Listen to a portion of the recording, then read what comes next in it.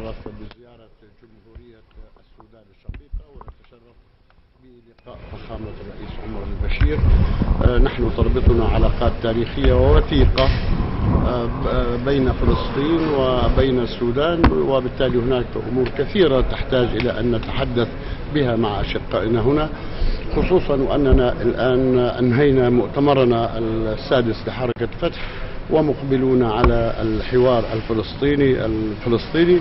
الذي نصر على استمراره ونصر إن شاء الله على نجاحه.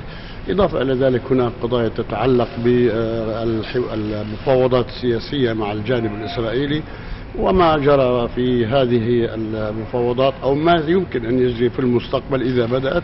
كل هذه الأمور نتشاور فيها مع فخامة الرئيس. شكرا.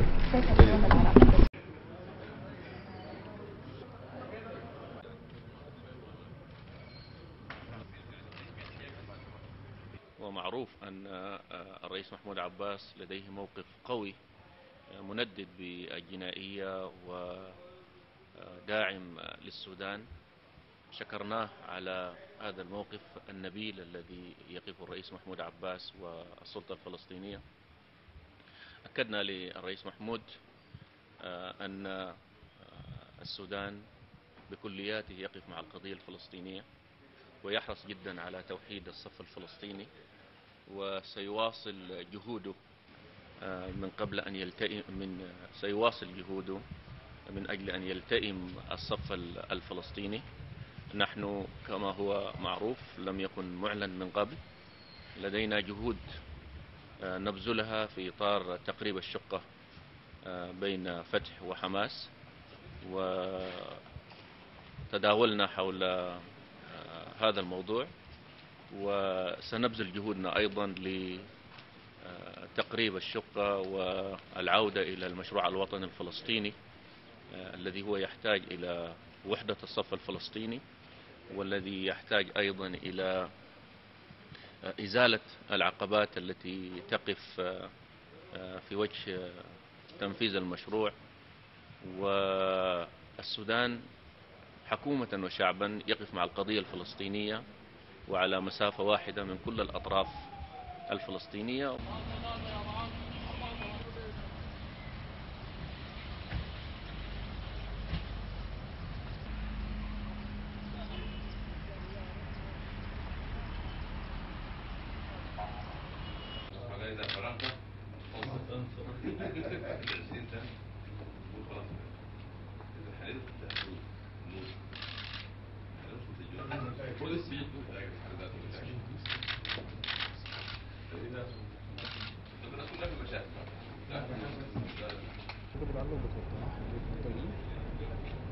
آه نحن كما هو معلوم عندنا موقف آه واضح جدا في دعم القضية الفلسطينية.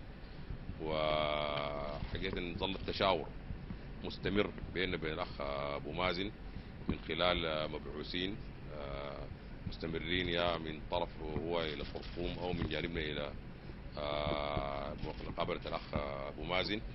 والتشاور بيناتنا مستمر في كل التحركات اللي بيقوم بها الأخ أبو مازن. أيضا نشكره أنه ما رغم مشاغله الكبيرة وقضاياه الملحة لم ينسى قضية السودان وظلت هي جزء من أجندة مقابلاته وحواراته مع كل القادة هو كان لابد من هذه المحطة الآن لنتحدث عن قضايا مختلفة أبرزها نتائج مؤتمر فتح ثم الحوار الوطني الداخلي الفلسطيني الأمر الذي يهم فخامة الرئيس وهو يتابعه ويبذل جهودا ممتازة من أجل رأب الصدع الفلسطيني. كذلك كان لابد من وضع فخامة الرئيس بصورة المفاوضات السياسية التي يمكن أن تبدأ بيننا وبين الإسرائيليين إذا إسرائيل وافقت على وقف الاستيطان.